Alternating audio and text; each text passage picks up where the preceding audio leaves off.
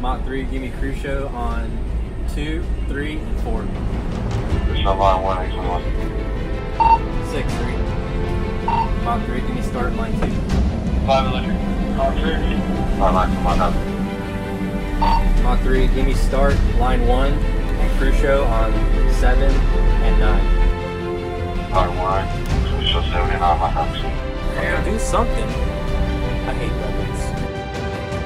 Super ops, line 3, red ball, avionics. Super Ops. Line 7 is code 3 for light in the gear handle. Fuck. Okay, so today I'm having a conversation with Eric Stromski. Uh, those that have listened to the podcast or watched the videos, he was in our QA video and our production video, and he's still uh, adorned with his military regalia behind him on the video. Um, so today we're kind of going to talk about uh, what I refer to in my retirement speech as a wink and a nod maintenance, but it's really about com- TO compliance and enforcement of standards. Um, so Eric, why don't you kind of give everybody a back your military background and, and your experience, and then we can go from there. Sure. Um, so, you know, I did 21 years active duty, uh, retired as a master sergeant a couple years ago. Um, I, I spent uh, my first part of my career in the back shop in an engine engine engine world. Uh, worked mod repair, um, uh, JIM. Uh, moved on to QA. You know, was a staff sergeant in QA. Uh, from there, I went to run a support section, um, and then from there, uh, did some pro supering over at Holloman. Ended up being a lead pro super. Um, went over to QA again as a chief inspector um, and then ended my career running a support section for the last uh, about six months or so. So uh, a little bit everywhere, a little bit flight line. Uh, I'm sorry, yeah, I did work flight line for the 61st for about four years in the middle there. So been a little bit everywhere. Yeah. Uh, so Eric got to Holloman maybe four, four or five months before I did. Uh, when it was first standing up in 2014, I showed up in August.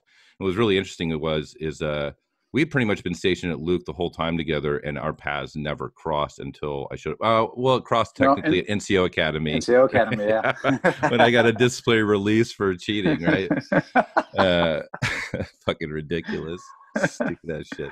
Uh, Oh, anyway, funny. yeah. So our paths briefly crossed there, uh, and then when I showed up at Holloman, I was um, slotted to be a pro super, uh, and Eric was a swing shift pro super, correct? Right. Yep. Yeah. Yep. And I, I became the midshift pro super.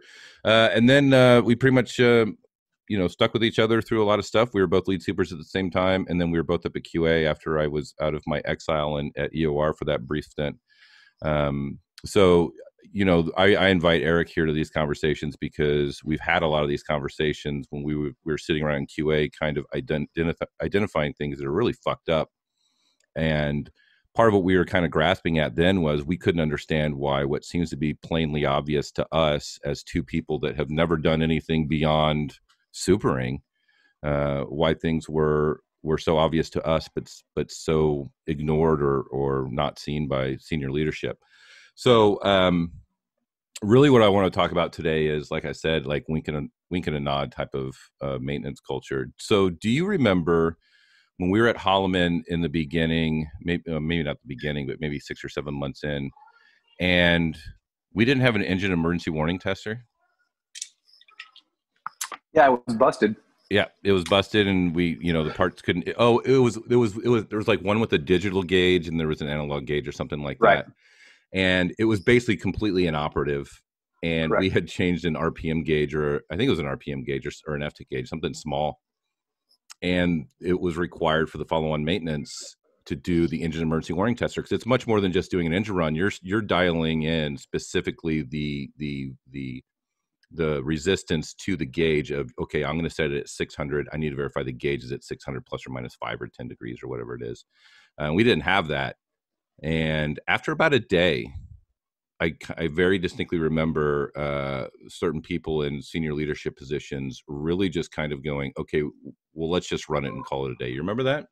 Oh yeah, you know when we first um, started standing up Holloman, you know the the support was was pretty limited, right? They were still standing up their support section, and um, you know it's a tough thing to do to start up uh, uh, flying uh, actively F-16s with with uh, with nothing set up really. I mean, age wasn't set up, support. Mock really wasn't set up for us, um, you know, and they wanted to kind of hit the ground running as soon as these jets started landing. You know, I remember I think it was about less than two weeks from the time the first jet landed to the time I think we were flying that first sortie, or trying to at least.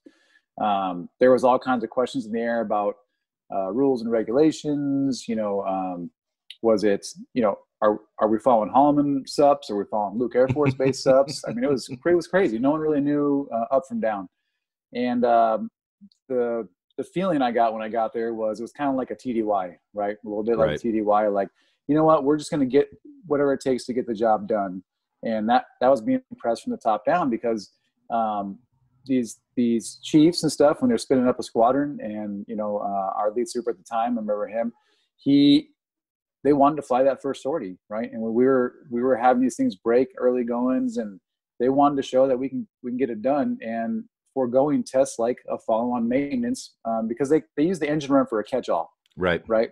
I mean, we'll well we'll just fire up the engine and, and Yeah. we'll catch all the problems that we're having.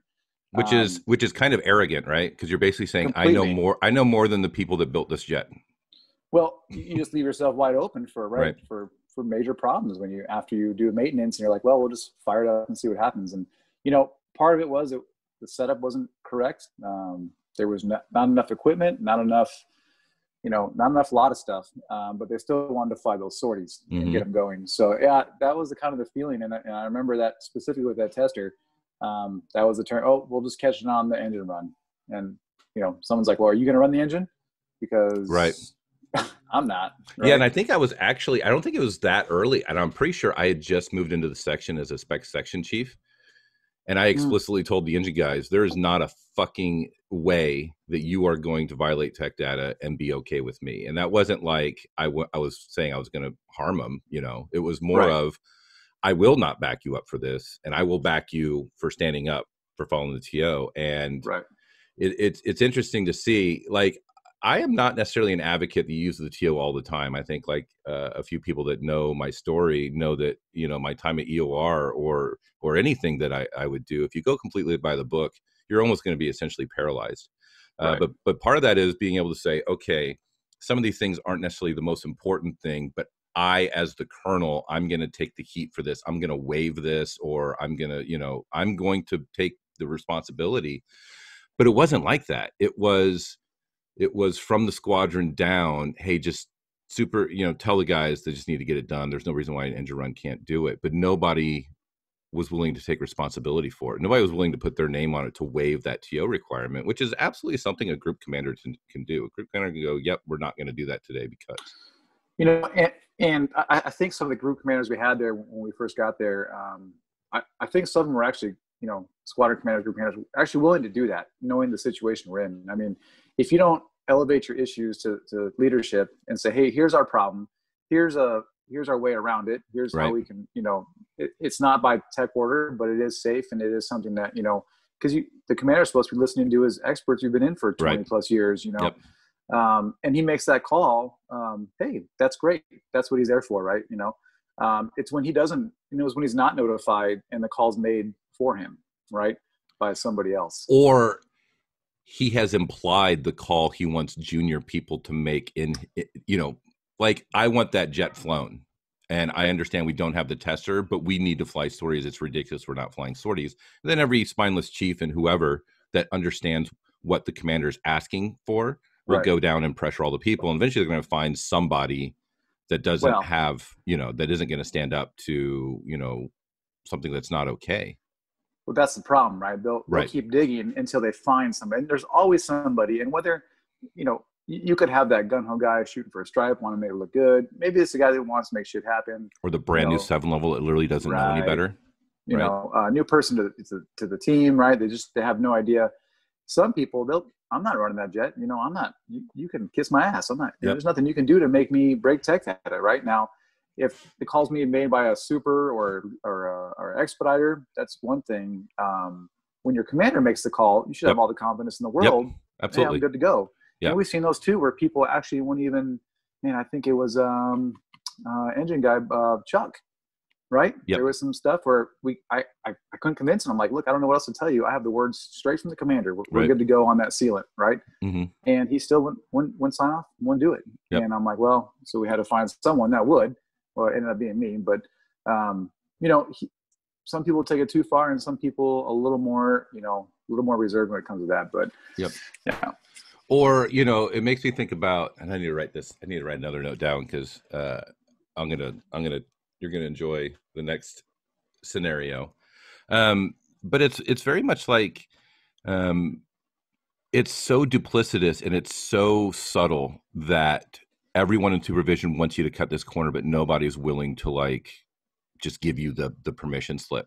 Uh, and it reminds me when I was, um, so you know, what the listeners may not know about this podcast is typically before the podcast we have a brief discussion and almost invariably in those discussions we talk about how we're not going to name names in these podcasts and stuff. So uh, some people can kind of figure out who we're talking about and you can certainly go back to the blog because i named every fucking name there is to know in there and go nuts. Um, but our squadron our squadron chief remember we had a whole bunch of code twos and um, our squadron chief said to to go JA MICAP. And boy, that's a that's a Oh, big yeah. thing to unpack. Basically, it's you need this part desperately in order to be fully capable, and you're willing to prioritize your jets over everyone else's, and you're signaling to the Air Force supply system that it is dire and you absolutely need it because you are you are incapable of doing certain missions. Uh, so what that's used for is stuff where the pilots, you know, have system reduced system reliability, not for safety of flight stuff, but it's reduced reliability on, you know, you know, whatever that system might be, the extra bells and whistles type stuff that limits their mission capabilities. Uh, so like when someone's come back with a code two for like. Uh, I can't think of a good one off the top of my head, but it was like you know UHF radio scrambled or something like that, Right. or VHF or something really small they pilots typically write it up and then you troubleshoot it and you figure out what the most likely part is and you place it on order and the air force rack and stacks all the parts and says okay you're a training base in the middle of nowhere. Uh, we have we have real missions downrange we're going to prioritize the parts to them over you. Uh, so this squadron chief was getting really frustrated with the fact that we had all these parts on order with long-term delivery dates because by the way what we were doing was not important. And those write-ups were not important for our non-important fucking missions too, right? Right. Uh, and then he directed, uh, he wanted every single minor write-up to be ordered uh, as a as a JA MICAP. And I remember uh, TJ came in and he had a stack of 2005s. You know, I was a super, and he had a stack of 2005s, and he put them in front of me, and I started fucking laughing hysterically. Yeah. And I was like, "There is no fucking way I'm signing those 2005s. Nope." I said, "There's one person that wants that done, and he has the power to sign them. You can fucking." And it was when we were when he was sharing a building with us. Remember, we used to Yeah. talk mad shit about him with his Right door there. open and just like, He's "Oh, right this is so stupid. Only an idiot would do these things." like, uh, can you imagine being a sackless chief that was unwilling to fucking walk around the corner and address two insubordinate shithead master sergeants like us and be like, if you have a problem with what I'm doing, talk to me. But the reality is, when you know you're doing shady shit and you're a piece of garbage, you're not going to fucking challenge people. Uh, how great would that have been if you walked in? Honestly, like that would have been great. That would have been perfect. oh, you're here. Uh, so I told him, I was like, go in there. That guy can sign every single one of those two fucking 2005s. And then when uh, there's a IG investigation, which I definitely would have initiated, uh, he can answer for how he's completely abusing and criminally abusing the supply system. And that goes back to the, you know, let's try to shade, let's let's bend the rules, but I don't want it to be my signature. And that is that is just the ultimate signal to your personnel that you're gonna fucking hang them out to dry. Um, well, you know, and, and it's it's pretty clear, right? You're you're in the regulations calling out JA one A's exactly what they're for, right? And there there was no there was no mis, misinterpreting that. There it, it was it was one way or no way, right? mhm. And for him to read it his his version of that when you have others telling you, hey man, that, that's not what it's for. But it didn't matter because once again, it's you're sacrificing this um, Yeah. compliance with a with the regulation. That's once again it. Some regulations aren't aren't black and white. You can actually, you know, unfortunate, but you can't write everything black and white. This, right, exactly how to order parts, is exactly black and white. Yep. There's no question about it. Yep. Right. And I'll tell you what, if that if that's something he wanted to do, and he the, what's interesting is he didn't walk in the office and go, "Okay, guys, here's the plan. This is why I'm doing it. I know that the reg says this, but we need these. The ops have been talking to me. They're saying that these things are a detriment, even though it's not on the, you know, it's not a PM status, and we're still going to order it. But he didn't do that. What he did was he talked to the assistant AMU OIC because he was a yes man that was completely sackless and amoral. Uh, you're welcome to look up any blogs titled "When a Leader is a Shit Leader," and you can read about his stories. Um, he went to him instead as a as a intermediary, and then that guy came to us and said, "This is what we're going to do. This is the plan." Actually, I think he skipped us completely and went straight to TJ, right? Uh, because he knew we were going to be a, a thorn. Uh, and that's like when you're trying to do stuff like that subtly. That's another marker that it's shady as fuck. Um, and it reminds me of uh, remember when uh, I think you were on mid shift and you asked me to help out with ERs, and we started finding those radomes that had little oh, and stuff in it. So if you want to lay out a classic case of yeah, classic case of compliance versus you know it, it should have been filmed the whole scenario and for everyone to understand this is exactly what's wrong with maintenance, right? Well, one of the big things that's wrong with maintenance, mm-hmm. but the fact that people are willing to once again pass their I guess judgment or um, you know how they see a situation. But once again, there, there's some things that are just it's black and white. There, there's no way around it. And those radomes being bad, they were bad by the book. If you want to call it that, they were bad by the book. Yeah, and we don't. Right? So I, I never wrote about that story. Uh, it might be something no, you didn't? fun. I uh, know I never did. So I'm going to unpack what happened. So uh, I'm, I think we're night flying, um, and you were basically doing day shift hours and mid shift tasks, I believe. Uh, and I was the specialist section chief, um, and you had a lot of. I think you were doing lead super and either way, both. Yeah, so you had a lot on your plate. So, and obviously, ERs is the thing that kind of um, takes up a lot of time when you're putting eyes on jets and doing, you know. And I didn't, I didn't necessarily do quality looks. I did cursory looks because uh, you right. know I'm perfectly capable of, of okay, let's narrow the scope of what I'm doing I'm not going to look for you know crackling. No, you weren't phasing fingers. a jet, right? Nope. It's I just mean, delta P's fluid levels, you know, obvious stuff hanging down, FOD and stuff. Um, hey, by the um, way, you're coming in a little blurry. No, I don't know what this is. Fucking goddamn COVID camera. It's probably a, it says Logitech, but it's probably a Wish piece of shit that I fucking way overpaid for. Uh, I'm gonna do this and see if I can't reset the. Anyway, well. Okay. Anyway. If anything, it makes me look better. Um, so uh, uh, so what happened was is I was going out and helping uh, Eric do his ERs, and I, obviously I was a crew chief for 20 years. Well, at the time I was a crew chief for 15 years or whatever it was. And Eric, um, he had worked the line, but not being a crew chief, he just didn't have all the experience with inspecting airframe stuff. So um, I think I found a nicked radome, and um, I, I, I called you over to be like, hey, look at this. You can see the you can see the fiberglass underneath, and and the repair procedure for it is a specific like multiple step bonding sort of hardening thing. It's not a slap of RTV. It's not a slap of BHAF. Because the real risk there is is if that rain erosion coating kind of starts i mean you're talking about the the single point of the aircraft where all the the wind kind of comes and if it unravels it can catch some loose fibers and there's a distinct uh, possibility just... yeah and of course you have a gigantic sucking vacuum in a single engine aircraft right behind it. So if sure. it's a it's a it's a kind of a critical piece to make sure the pilot doesn't die and i feel like that's kind of a big deal. So um i pointed it out to him and then i called that we called sheet metal. Well we wrote it up right? Like we wrote it up? Yeah i wrote it up on a dash because i didn't know. Yep. hey it's an unknown right. condition and we called out sheet metal for an eval and the guy came out and he got out his book. And you know people that that may not understand the air force i think most of my listeners probably do uh, the books very rarely say if something's good to fly or not. It always says if it's serviceable or unserviceable. And what that does is it leaves it up to the discretion of the technician to decide if it's if it's flyable or not. In this case, I knew it was in my I didn't know in my time working on the line that was almost exclusively always a red X condition because of the the risk of you know delamination that I kind of uh, described earlier. So we called sheet metal out and he uh, evaled it, looked at the book, and he wrote up on a diagonal. And I was like, I don't think that's supposed. To, yeah. I think that's supposed to be an X. And I think we even came in the office and kind of talked about it, me and you and maybe somebody else. And I was like, well, you know, things change. I'm not a sheet metal expert by any stretch of the imagination, and the book only says serviceable and unserviceable, so it's not enough for me to make a stink over. Right. And you remember, like, as the week went on, we did more and more, and we found more and more. And I remember we had some jets out on Echo too, because, of course, in at Holloman we have the lead super dual heading as midshift super, and then we have jets on Echo as well, Right. because there's not enough fucking going on that you have to do that. Um, and you found one out on Echo, and I remember it was a little bit messed up by the zipper portion, and I said, "Oh, I think that's I think that's no big deal."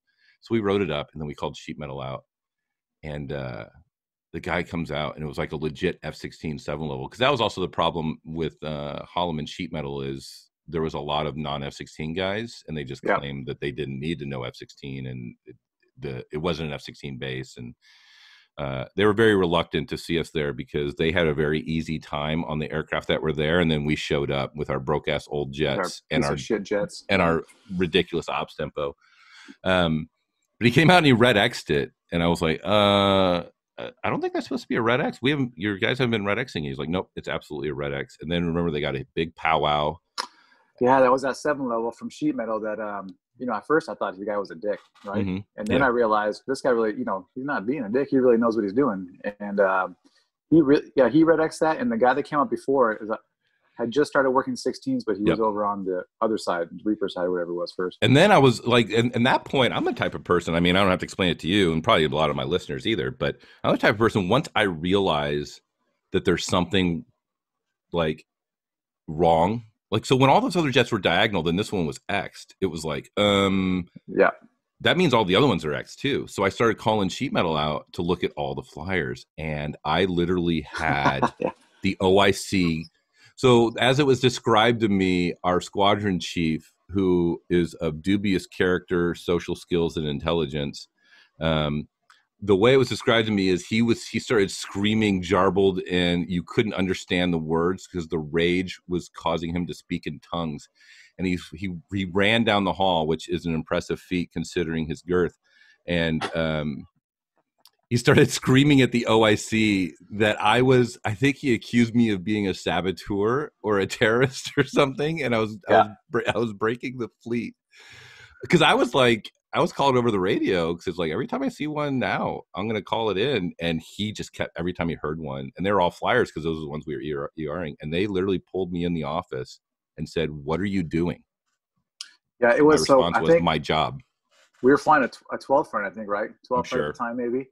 And uh, out of the 12, out of the 12, I think eight of them, eight of them had diagonals for Yep. that radome problem. Yep. And um, because you were doing your ERs, and I, I remember this um, this chief, you better get someone out there Yep. else to do those fucking ERs. right? That's what he said. You better get someone out there to do Yep. those fucking ERs. And I'm like, well, chief, I got no one else here because uh, you know, I'm it's just me and Chris here right now. That's it. So I'm like, and then I, you know, unless you want to go do it, right? Which or had, by the way, he had Which- ERs. he did. He could have he never could have fucking gone out there and he could have signed off all those ERs. But again, Right. he didn't want to have to put his name on it, and he expected all of us to turn to look away at something we now knew was a safety of flight issue. It was affecting Right. multiple aircraft, right? I mean, I got pulled into the office for a real conversation, and the Yeah. qu- co- conversation was, "What the fuck are you doing?" And I was there was not a scenario where I was going to back down from that conversation. Like, you know, you know me pretty well, Eric, and you've been involved in Yeah. a lot of the things. If I'm in the right, there's not a rank. There's not a rank power issue here. I'm going to be swinging on every motherfucker in the room if they're being, you know, shady. could have been Um, uh, oh Biden himself could have came down and said, and he would have been like, nope. you could get fucked. Yeah. Um, but I, I think after that, that's when uh, the squadron chief said he didn't want me doing ERs anymore, which was funny because I was probably the most knowledgeable master sergeant in the unit at the time for all of that stuff. Well, and it wasn't even you making the call. It was the sheet metal Right. seven level whose Yeah. job it is to know this. And I right? said, like, okay, I said, okay, well, go back to sheet metal. If you think this should be a diagonal, go to sheet metal and convince them, and then we can downgrade all these X's. Like we can go to Right. the group, and then oh, by the way, if we have to explain to the group how we misconstrued this as an X earlier, and now it's really a diagonal, and that's a fucking hard conversation to have because it was on thin ice to begin with. because you, once again, you were just writing up for an inspection, right? Yep. And um, Yep. I, I, I know the sheet metal, um, their uh, super came out, the the backshop super, Yep. super came out, um, the sheet, metal seven level. I think their OIC came out. There was like three or four of them out on Echo, Um, I remember sitting out there waiting for them. But as you call them in, as you're doing your ERs and you're calling them in, um, you know, hey, I, they were legit and they had all agreed. And the one guy that wrote up the diagonal the first, he even showed up and, you know, he, he changed his tune a little bit, but yep. he, you know, he got educated and it's stuff that had to get fixed and it wasn't an easy fix, but you know, yeah, we lose some sorties for one day, you know, maybe two days, but what's the alternative? Right. Right. And supervision being okay with the alternative is the big problem we have. Right. You know, and it makes me wonder. You know, we talked to Bear briefly uh, during the production conversation, but I always kind of wonder how much do pilots really know how much internal conflict is in an AMU, and how often supervision will pressure people to sign off things that they know to be unsafe, and every nobody tells the pilots a fucking word about it ever. Well, that's that's the you know, when your pilot comes up, you, you you want to air your dirty laundry right in front of the ops, right? I mean, no, but do you no think the pilot would want to know that? Do you think the pilot would well, yes. want to know? Hey, we argued about this for about three hours a day, and everyone that was an expert said it shouldn't fly because it can delaminate and go down your intake. But our squadron chief really wanted this sortie, so we downgraded it, and now you're here. Like, I what mean, would the pilot do with that? No, he wouldn't even step in that airplane, right? Like, you you, you wouldn't think you. I mean, you wouldn't think. I, I don't know. It, there's a fine line. You you gotta you gotta you gotta bail out ops a little bit. You can't give them too much information, right? But you got to give them just enough so they you know they can know what they're stepping into. But they that's where they put the trust in maintenance, right? So when they come out to the aircraft and it's got some code twos written up and everything, they they they have faith that I mean that's a that's a lot of airplane to look at, right? But sometimes they, do they don't have faith. And, that's why they ask about fixes. That's why I have a bird board. That's why things kind of. Eh, I think there's a broken trust between ops and maintenance, where ops is trying to second guess what maintenance is telling them sometimes because I think they pick up that we do some shady shit, and I think there's a there's an issue of trust there. Well, yeah, and even Barrett admitted it, right? Like, yeah, he knows that what it takes to get these jets flying, and if, like you said, if we if we some of these jets they're they're so old there's so much stuff wrong with them uh, code twos and even some you know some stuff that i'm sure i'm sure ops doesn't really want to know about in the yeah. back of their mind right? It's scary huh? you know and it's like getting in a rental car I, I, I, you get in the car and you just hope that everything's fine and then you you know that the guy before you didn't beat the shit out of it too much right? That's fair. You know um, but on the other hand um, if we were to just divulge all these problems we have in maintenance to ops how many pilots are going to want to step to a jet and fly it? I mean, I wouldn't. Would you? No. If, I remember. I remember when I got my first incentive flight in uh, 1999 in aircraft 158. I knew the crew chief on it, and I showed up an hour before and pre-fired the whole fucking thing because I knew that guy didn't do good maintenance. And I love him to right. death. He's a great. He's a great guy, but he was not a good crew chief. Um, like and then I think uh, I think it might have been you and me. We were talking about uh, would you if we were offering an incentive flight now, would you take one towards when we were both masters of Holloman? And it was an emphatic nope, nope, not at all. Uh, so uh, each each flight I took on when I when I was in the 61st, I had two two flights, and uh, one of the jets that I was scheduled for my second flight, I absolutely said no. no. That's spooky. I'll, I'll, go to a different jet. It was because I, I I mean I knew I knew all the problems that jet was having uh, the engine, it was the engine. We had stall after stall, you know, Christ. some AV blowouts, and we changed some components. And you know, I was an engine guy, so like, I'm, I'm, you know, you think I'd be okay with it, but it was the whole jet. There was just something wrong, you know, the vibe for it. So, um, you know, th- there's a lot of maintenance that goes into these things, and there's a lot of small things, but they, they start adding up quick, especially with the age of the jets.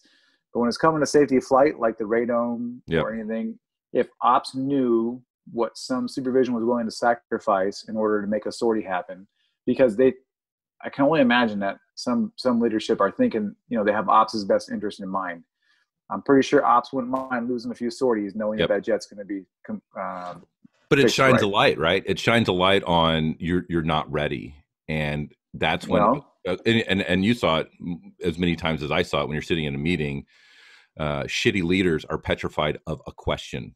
I, how many times in our morning meeting, like at the AMU level, was I don't want any questions. Let's uh, let's we don't we need to get our story straight so we don't have any questions. Oh yeah, um, right.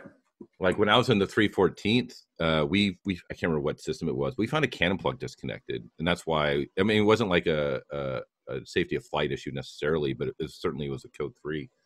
Um, but it came back and then you know the guys looked and the cannon plug was disconnected and then it was time for the afternoon production meeting and the oic came in and was like okay um what are you gonna say i'm, I'm gonna fucking say the cannon plug was disconnected oh well that doesn't sound good well that's actually factually what happens the cannon plug Right. was off i can say it's off i disconnected sounds like a verb somebody undid it i don't know Like that it's dangling there. Yeah. I'll say the cannon plug was off. He's like, well, I'm gonna say the cannon plug was unseated, which doesn't sound as bad. I'm like, okay, well, you do your lie, and I'm gonna tell the truth. And when when they Right. try to figure out what the fuck actually happened, I'm gonna point out that you're lying. So now you have to fucking get on board with my story because I don't sugarcoat well, it. It's the only story. No, right. not necessarily. It, you could do the, you could walk that ethical line that that. I mean, and it's that- all about questions because the next question is how did it get disconnected? And people that's are the- petrified of questions. But you know, look, so you have to be willing to. So let's take the radomes for example.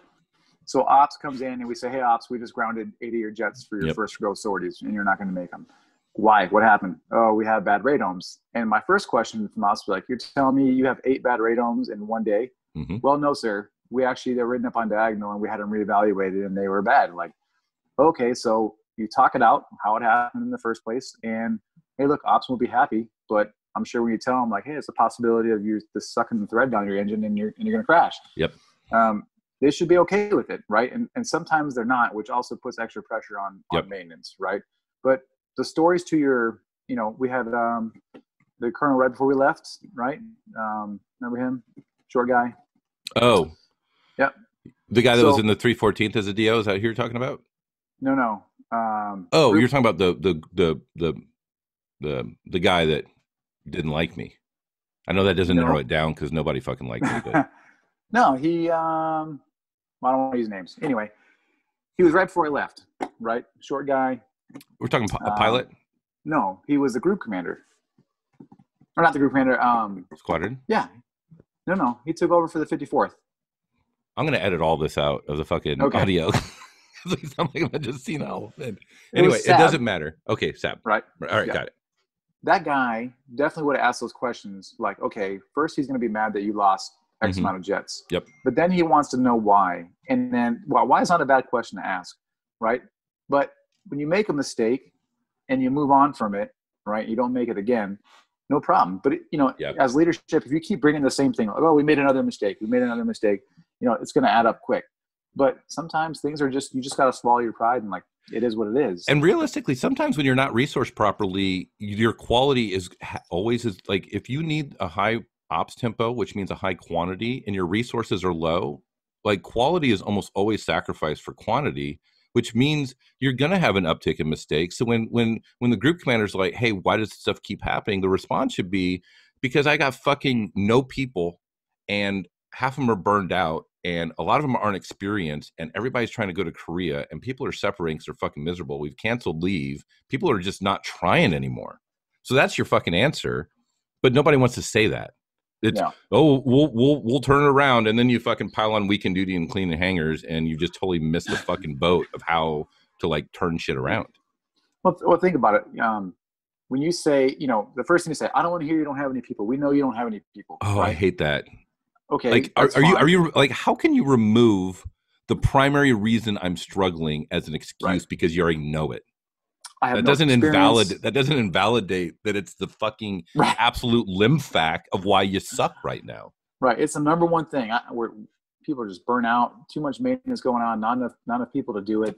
Not enough experience. I mean, getting experience in there. I mean, hey, hey, your uh, LCOM shows you have plenty of people. Yeah, they're all brand new three levels coming out of tech school, right? I got 20 of those guys in my flight. What are you going to do with that? Yep. Right.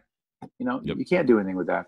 Um, so when when ops is you know when ops is asking these questions or the group commander is asking these questions and leadership you know whether whatever answer they throw out but i think that's why it was good to have the you know the supers and the lead supers in that meeting sometimes because hey chief it is what it is. Like we we this is the problem we're having. And the fix for it i mean it it's there is no fix for it really right now. I mean you you can apply yep. You need a time machine. You Yeah, need a yes. fucking time machine. Like so Right. space force should really fucking get on that uh because space force. with the with the crunch for for fighter pilots and the low manning like they have to fly and there's not enough people and they're getting fucking ground up. Like just today i published a anonymous article from somebody that sent me you know a, a, a crew chief had killed himself um, over uh, uh, within the last week where this person was.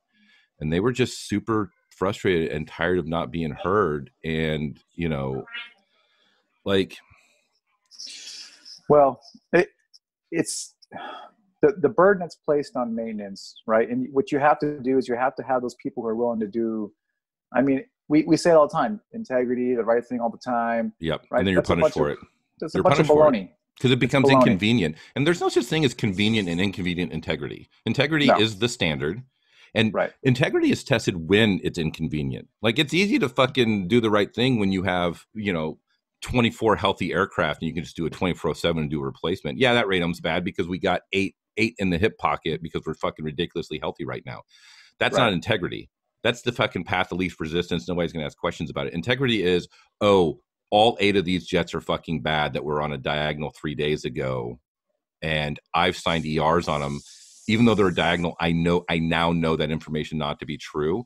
I can't in good conscience let these jets fly under my name on the er and Right. as painful as it is i have to go and have them relook at all eight of these jets and maybe i'll get lucky and maybe someone will be just small enough where it won't, won't, won't affect safety of flight but it, to me it really spoke to the culture in that unit and from all the messages I've gotten from people all over the world serving in units, that was not a unique experience we had where there was people pressuring for stuff to be signed off and just to cut the corner.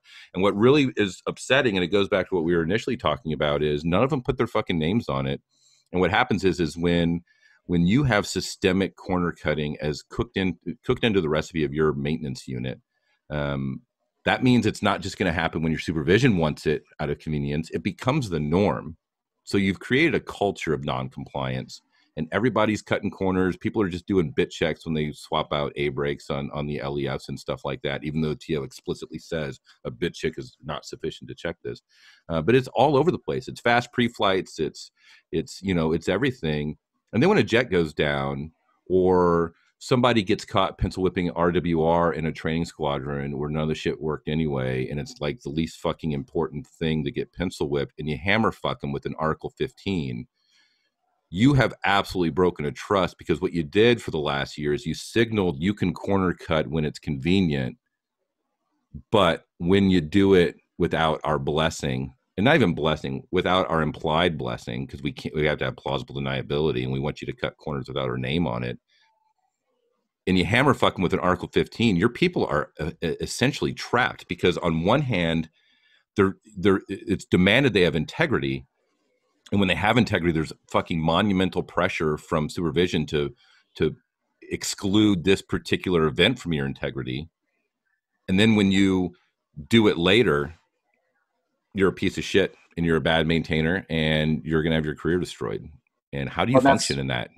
You can't. I mean the, the the you know if you're one of those guys that like i said the air force has a lot of different personalities and main, main, maintainers right? There's that guy that will do anything to get the job done. There's there's the guy that goes out there and you know he'll he jerry rigs some kind of crazy tool to fit in this you know and gets the job done no matter what. But these guys that are out there and they're they're sacrificing their integrity in order to it, it's a it's a crappy situation to put him in. Like hey you we're not going to put you on pre-flights anymore. We're not going to put you on Yeah. engine bays anymore because you ride them up too much, right? So Yeah. the expediter decides, or the Yep. super calls, hey, I don't want this guy on on on phase jets anymore, or whatever. Yep. You know, we want a guy on there that's going to play ball with us, and Yep. you know, right? Um, and it's the same thing even in QA, sending the guy out like, oh, don't don't call that guy out to the phase jet. He's going to Yep. tear it up, right? Yep. Call this guy out, right? Yep. It, it's it's a such a bad spot for us to, you know, for the Air Force to to push maintenance meaning hey we kind of sacrifice our time right Mhm. we, we, we're out of time so we're going to sacrifice quality and compliance in order to make up time Yep. or we're out of resources so once again quality and compliance go out the door Yep. right and it's a shitty way to to to, to put a young airman into put a, a young staff sergeant into shit even a pro super right i mean Yep. like hey now you're talking about senior and master you're like hey we're not gonna Yep. You You're not gonna you're not gonna play ball. Yeah, you're not gonna get promoted. Right Um, it, it's unwritten but it's for sure it happens And what's really funny is when you happen to run into a scenario where someone follows the book explicitly, like every impound I ever worked, it was like, okay, There's a method here. We are we are going to go from a broke state, and I am going to get us to a fixed state, and it is going to be exhaustive, and it is going to be a, the best maintenance we can ever possibly do. Because my pride is, and my goal is, this never comes back. So And go ahead. how come that's okay for an impound? Well, that's what I'm getting Right. at. What's funny is Yeah. it's not because then they fucking lose their mind after like a day and a half. They're like, "What's the status of the impound?" I'm like, "Oh, well, I spent all of yesterday uh, reading the history of the jet." Well, what did you do on it? Uh, it sat there, roped off, Right. and then I read the history of the jet because I need to know everything that was done. I need to know all the troubleshooting that other people did. I need to see why they picked this component. You know, I need to know everything, and then I'm going to start building the plan of action. I want to keep it in a failed state, and I'm going to go at it and I'm probably uh, tipping my hand for the impoundment discussion that's going to come later. But um, you know, and they start flipping the fuck out because when you follow the, that's what's really funny. When you follow the book to include all the cure checks, how long shit actually takes to cure, to to full blown landing gear ops checks instead of just a quick doors open gear swing type of deal up and down in 10 minutes when you're when you're doing everything and, and checking everything a you start finding shit broke because it's never ops checked appropriately like there was a lot of jets at luke that had um, landing gear isolation valves that were bad but we never we always skipped the free fall portion to verify the Yeah. landing gear isolation valve was actually letting the gear fall down um, so when you start doing stuff by the book first of all you start finding all the shit that has been pencil whipped for the last few years but also when you go by the book it takes time because quality maintenance is an expensive process and time experience and, and manpower and they're used to well we did a motor we had a motor out a bay done and a motor in on one shift yesterday. I don't understand why you're taking two days on this engine bay. Oh well we're doing we're not doing the pull the motor wipe down three things call qa and then we're basically going to rely on qa to do our engine bay for us uh, and call Right. it a day. Like like chiefs and colonels they're so accustomed to the corner cutting maintenance that when actual quality maintenance shows up it seems like people are sandbagging is what it is what it feels like Right. Well, which is which is 100% accurate because if you if you get a guy, you know, I've done it myself as a super, right? Like you put some pressure on to get the bay done, you know, whatever the case may be, you know, engine install. You, you know how long it takes, right? And uh, to me, a bay could take day, days, right? depends on the bay Hey, Some guys are faster, some guys are slower, right? like a, a, a low a low discrepancy bay you're looking at three four hours and that's like Right. it, the motor was just out and you're doing a cursory look you're hitting the carded Right. items and you're doing a fod check and all that stuff but if it motor's been in there since phase or some crazy amount of time like like every crew Okay. chief every expediter is like as soon as they pull that motor out and they see the filth like that's that's the fucking uh that's the timetable of Right. figuring out how, How old the bay is is it? oh Yeah. it's filthy as fuck okay this shit's gonna be fucked up and nobody can remember pulling the motor like well i think that guy did it two years ago but he pcs like okay this bay is gonna be like two or three Right. days be prepared Well, you know, like I said, the pulling engine in the bay or whatever maintenance is, you know, once again, you're sacrificing time, right? And leadership has gotten so accustomed to things being done quickly. And I, once again, I, I can't believe, I can't believe it's still done in the Air Force, but you know, a failure is never an option, right? yeah Okay, it absolutely should be an option at some point. When you're doing an impound versus regular maintenance, and you know, I, I kind of disagree with you a little bit. I remember some some supervision at Holloman. Look, they didn't give a shit how long an impound took. oh bullshit No, well, I, I didn't. I said some. Okay I okay that's fair all. that's fair Okay. oh, my, my bad Right, some leadership at Holloman. They they really didn't give a shit how long input took. good leadership the good leadership Yes, And we how many have were there? some- how many were there mm, two Two, two maybe. there's okay right? But so, some of the chiefs would brunt the pressure of the squadron, right? Yep. Okay, fine. Um, and you know they had their their tolerances for how long something could take, right? Mhm. Especially when they think it's an easy impound, right? I Mhm. mean, engine an engine vibe is not an easy impound, Nope. right? Especially when we didn't have a test cell to run an engine on, right? So it's Yep. not really not an easy impound. uh, a gear a gear impound could be Yeah. a relatively easy impound, right? sure Um, but you being on impounds and versus Joe Blow seven level doing on a regular code three Yep. or you know a five level, it's night and day. In, in my opinion, the the pressure that's put on those guys Yep. to do something that's a code three versus you or any other impound official to to work through an impound. Well, what is the difference? A code three you can't fly a jet, right? yep An impound you can't fly a jet, Yep. right?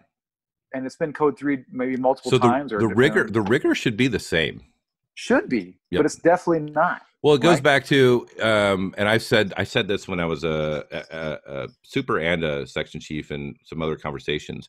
Um, we in aircraft maintenance we're much more focused on greening up the jet than fixing the jet, and those Oh, are sometimes two different things. It's what do we need to do to get this jet greened up so it can fly tomorrow? Oh, well, there's like a 50 50 chance it's this valve. All right, we'll just change the valve, ops check it. Well, it's intermittent. I don't know. Well, I'll just change it anyway. It'll green up. Just get it done before the eight hour fix rate, right? Um, whereas if you're focused on fixing the jet, it takes a little bit more time, but you're you know you're you're you're getting quality fixes you're duplicating you're you're chasing it down you're doing good troubleshooting it takes time to do that it also takes experience to know how to do that which Right. you, you experience comes from failing and not do, not doing well or exhausting the fi or it's like you do everything in the fi then it says return to service. You're like but the motherfucker still won't start. How am i returning it to service when it still doesn't start? Um, that's where you get into the fault that's where you get into the um, you know the theory of operation and the schematic and you're literally looking at this is how the fluid goes this is when it does this is when the valves open up and you sit there and you listen to it whatever it might be um, but it's expensive to grow somebody that can fix a jet not just green up a jet But imagine, imagine the quality of maintenance you would get out of these, you know, staffs and techs as they move along their career if they were allowed to do that Yep. as airmen. Yep. Right. I mean, opening up a schematic and following a wiring diagram, or, or you know, um, how oil flows through the engine, you know, how everything works together. That is completely lost on Yep. maintainers now because once again they're sacrificing their time. So imagine, you know, as an engine troop, you come out there and you have an oil light, you know, you know, okay, let me sit down and you should know the theory of operation for oil, depending on your Yep. skill level, right? But in reality, most people, you know, they boot through those FTDs and they're, you know, it just kind of they brain dump it, right? It's the same people that when you have a, a, a hydraulic oil light and they find a pop circuit breaker for the oil pressure indicator and they go, oh, okay, I have a pop circuit breaker. It says oil on it and I have a hydraulic oil light. So it must be reset the circuit breaker and Right. call it a day. Even though those are two completely different circuits, because one's a low oil Sure. pressure switch and the other one's an indicator. And that's where that rigor of, okay, let's follow the schematic. Let's, okay, oh, this doesn't go anywhere through this. That doesn't make any sense you know, and that's the chasing the green up versus, you know, trying to get the jet fixed where you actually have to dig Right. it and figure it out. And that's an expensive thing to build. Well, it's a, it's a, it's a, it's a big sacrifice. You know, Yep. if we made, It's if, an if for some reason, right? You, that's is it. You make an investment in these in these young airmen and these guys that guys and gals that go out there and they, you know, really learn how to troubleshoot Yep. because that's that's something people don't know how to do. They they learn from the staff sergeant that hey, I remember this one time the staff sergeant told me it could have been this problem, so let's check that out. They Yep. go straight to the punt list in the Yep. in the tech order, which by the way isn't the isn't it lined up in the in the probable cause that this unit or this LRU caused this problem? It's ease Mhm. of maintenance, Yep. right? So yeah, oh, you're gonna start at the easiest maintenance first, but people automatically dive to the punt list because their lack of troubleshooting skills. Yep. And because they don't have troubleshooting skills, because we don't allow them time to Yep. build those skills. Yep. Again, it becomes compliance, right? Cover cornering and quality, Yep. and not just quality of the maintenance, but quality of the people who are doing the maintenance, Yep. right? And you and I both know there's some crew chiefs out there that are, man, uh, like so good at what they do, Yep. right? And Yeah, badasses. Absolutely badasses. Yeah. right. Mhm. And there's there's always a handful, but there seems to be a little less and less. Well, what's interesting is I remember in 2010 when I was at Luke, when we had, and this is no exaggeration, we had 110 crew chiefs in the TAM section in 2010 because there was this massive. There's this. By the way, as a section chief, that's a goddamn nightmare because it's a fucking 20 EPRs a month or some dumb shit. Um, but what would still happen? It was it was it was mind blowing. We had an expediter that was I don't know he wasn't that great. Uh, but what he would do was he would still get his A team. The Jets would come down, broke light in the gear handle or, you know, whatever. And he would still have his A team of like the five heavy hitter maintenance guys that were just, you know, diehard mechanics that knew everything. And he would put those five on the hard broke jet and the airmen would just launch. They would catch their jet, BPO pre, pull their forms, and he would cut them back and send them home. And it's like, yeah, I get it. You still want to turn your jets for the next day, but you need to you need to split these five people up, even though they work together great and they're great guys. I love them all, but you need to put one or two together and then two or three airmen and just attach them at the hip, and then let the airmen actually do the work. Because in 2010, we could have been building great technicians, but instead we were giving them cutbacks. And then four Right. years later, they were staff sergeants that didn't know how to So- fucking install a wing tank. the guys, you know, the guys or gals that would, you know, at the time, hey, I'm not getting cut back. I got stuck on this code three and blah blah blah. You know, they're not going to get it at the time. But if it took someone Yeah. to explain it to them, like, listen to me, I'm, I'm really trying to build your future here, right? As a as a ma- maintainer, um, you know, and hey, everyone loves cutback sandwiches, no problem, right? But you can But- get cut back any other night when you got 110 fucking people in the section. Stay Well, late tonight. a ton. Yeah, I know that's rare. Right. It was ridiculous. Air Force had a big opportunity when we were, we were sitting fat, dumb, and happy for a while, right? Yep. For a little bit, and we then blew it. did that massive that massive cut. We did. We blew it. I mean, Yeah, we fucked it all up. I remember one of the one of the best crew chiefs I ever knew uh, in the 61st. Uh, I saw him walking out of the break room in his in his nicely pressed, you know, uniform, not his maintenance coveralls or his shitty uniform, but his really nice show uniform. Say, man, where are you going? He's like, oh, I go to the squadron. He got booted because he, you know, he had some problems in the past, and he was Yeah. on part of that. Oh, fur- uh, yep. not furlough, but Yep. the force shaping. yep poor shaping. He was the best crew chief, one of the best crew chiefs we had, and I, I couldn't believe we were letting him go. We- We literally picked the, we picked the shit that didn't matter and made that the Ah. discriminator for keeping the Air Force. But we're pro- wow, this camera is fucking hot garbage, huh? Um, we're probably uh, a little off topic and we're probably running out of time too. Okay. Um, but because I'm trying to keep these a little bit more succinct, so I don't I don't latch Sure. people to my uh, meanderings for two three hours. Um, but you know uh, what here's here's here's my parting message for the people out there you need to recognize that you need to give your people space to grow you need to create a culture where they're where they're backed up they're taken care of when they're standing up for something that's broken and grounded yeah i know it sucks it's hard to be the person when you find something on a pre-flight when you find something on a pre-flight that's fucked up and you're the only person that knows about it it's really fucking hard not to cover it up or pretend like it's not there and then you go to your expediter. And it takes a lot of bravery to do that because you know you're destroying your night because you know when you find your jet broke you're the one that's going to be sitting with it. And you're also destroying some other people's nights too because if it was a good night now it's not a good night but just think about how soul crushing it is when you go up you get the nerve to go up to your expediter and he goes uh, we can't afford to do that tonight. Can you you know make that go away? Uh, i would just say give your people the room to to have integrity to not make it too difficult to call things broke. Give them the room to learn and it's going to take longer.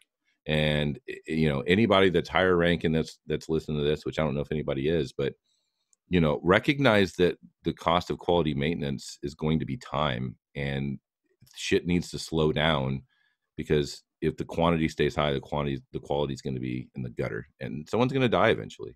Do you have anything else eric? Yeah, you know, I- um, I, I just want to say that you know this these changes that you know, like I said, growing these individuals and, and taking this time that, that comes from guys that are already sitting in the, in the super office right now. The guys, the lead supers, the supers, the expediters, um, even the section chiefs, right?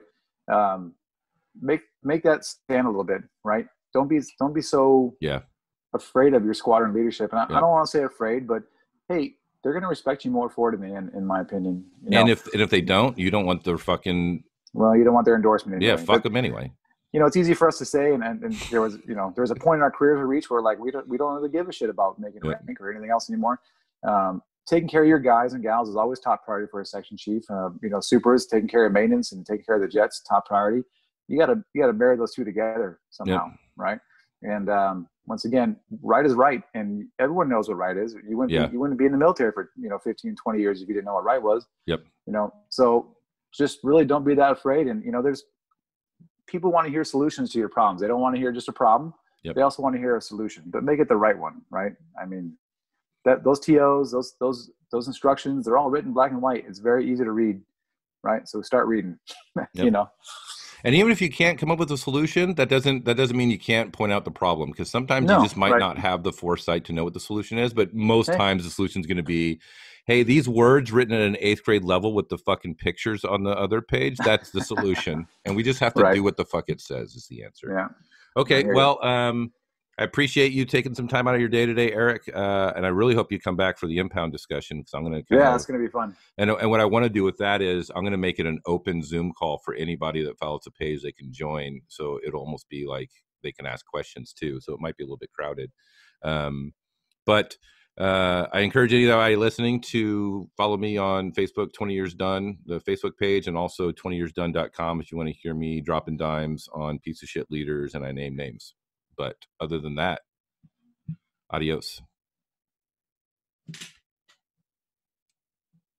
I have to awkwardly go to the record button.